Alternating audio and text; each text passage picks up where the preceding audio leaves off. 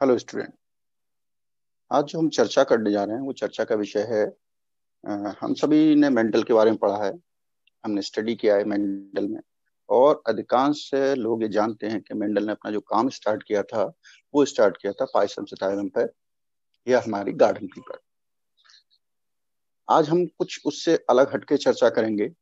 सबसे पहली बात तो क्या हम ये जानते हैं कि मेंडल ने अपने जो जेंटिस के एक्सपेरिमेंट किए थे, उनके काम की शुरुआत या आरंभ मटर के पौधे पे नहीं किया था। प्रश्न ये उठता है कि मेंडल ने अपने जो वर्क को स्टार्ट किया था, वो मटर के पौधे पर नहीं किया तो क्यों किया था? या बात ये आती है कि मेंडल ने अपने प्रयोगों के लिए प्लांट का चयन क्यों किया, एनिमल का चयन क्यों नहीं किया? It mean why Mendes selected plant for his experiment, not an animal. Okay.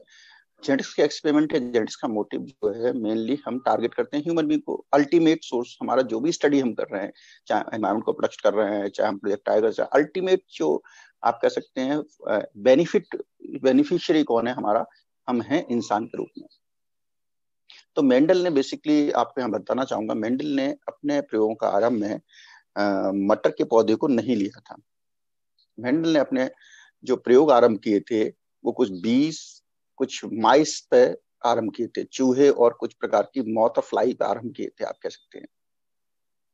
अब जब उसने प्रयोग स्टार्ट किए तो उसका जो आपको ये पता है कि मेंडल एक पादरी थे, एक धार्मिक व्यक्ति थे क्लर्जीमैन थे। जब वो पादरी के रूप में काम कर रहे थे, उन्होंने जब प्रयोग स्टार्ट किए अपने तो वहाँ के जो रहने वाले लोग थे, आसपास के चर्च के, उन्होंने उसका विरोध किया। A clergyman being a priest you can not conduct the experiment on a animal breed इस प्रकार के।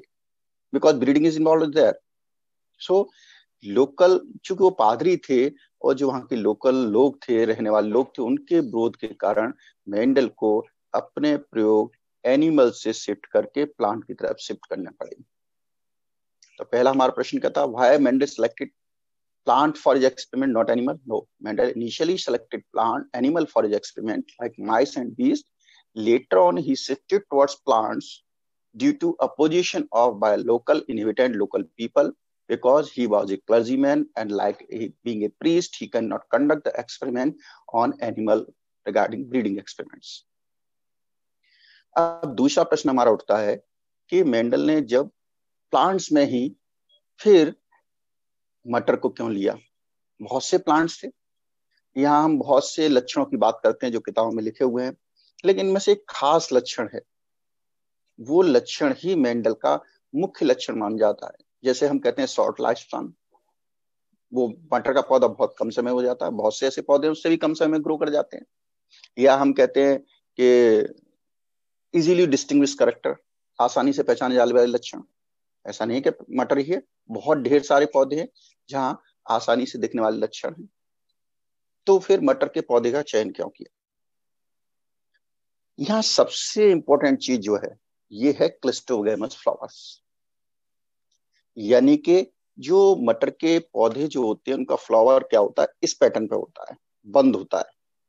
यानी वो परमानेंटली बंद क्लस्टोगेमस हम बॉटनी पढ़ते हैं, और इसको ओपन किया जा सकता है। तो नेचुरली है इसके मेल और फीमेल पार्ट इसके अंदर क्लोज होते हैं। तो इन नेचर जो प्राकृतिक रूप से इसमें जो फर्टिलाइजेशन होता है, वो सेल्फ फर्टिलाइजेशन होता है। और यदि हम इसको ओपन कर दें और इसके एंथर को कट कर दें और the removal of anther is known as emasculation तो यदि हम रिमूवल को एंथर को रिमूव कर दें तो तो क्या कर सकते हैं हम? दूसरे प्लांट्स के एंथर को लाके इसके गाने से रग स्टिग्मा पर रब करके क्रॉस फर्टिलाइजेशन करा सकते हैं।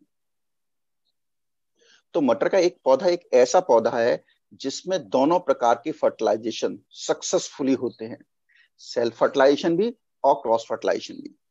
हम आगे स्टडी करेंगे कि इनके बेनिफिट क्या है। जेनेटिक्स के लिए बहुत ज़रूरी था कि हमें ऐसे पौधे मिले हैं जहाँ हम क्रॉस फर्टिलाइजेशन का या रेड और व्हाइट का क्रॉस करा सकें, टॉल और डार्क का क्रॉस करा सकें और सेल्फिंग भी हो सके। सेल्फ स्व सेल्फ फर्टिलाइजेशन हो सकते हैं। सेल्फ फर्टिलाइजेशन का मतलब क्या होता है कि हमें प्योर लाइन मिलती है।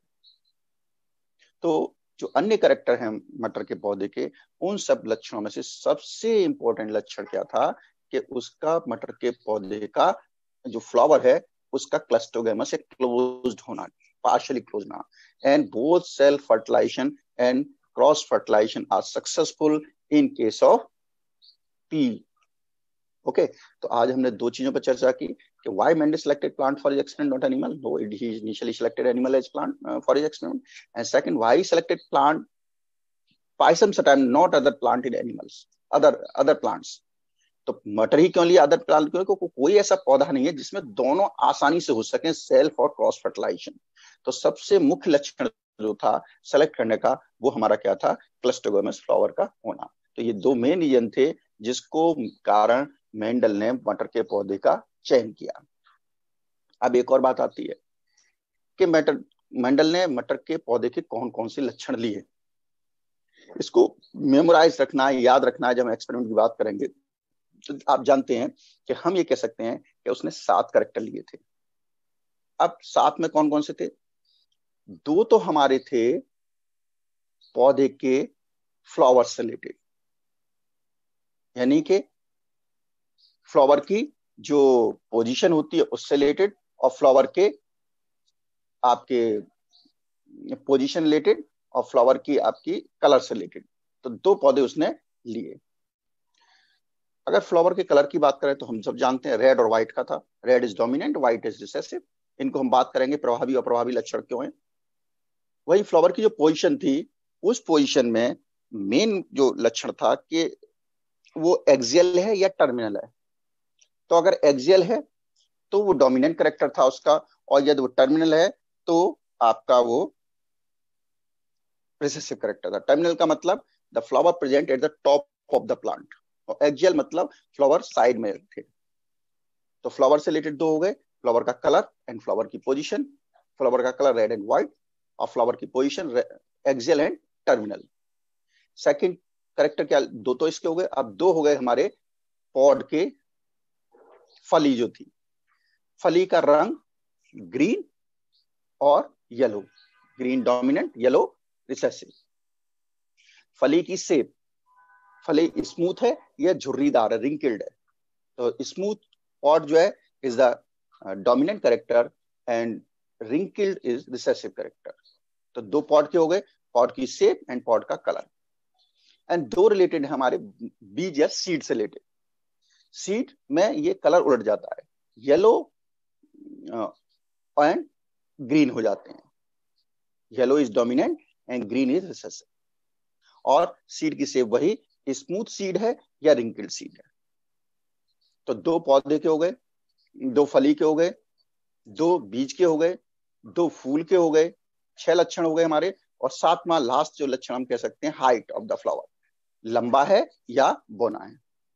तो इस ढंग से आपको ये सात लक्षण मेंडल के सदैव याद रखने होंगे, क्योंकि ये लक्षण जो है बहुत ज़रूरी होते हैं आपके आगे एक्सपेरिमेंट करने के लिए, आपके एक्सपेरिमेंट समझाने के लिए।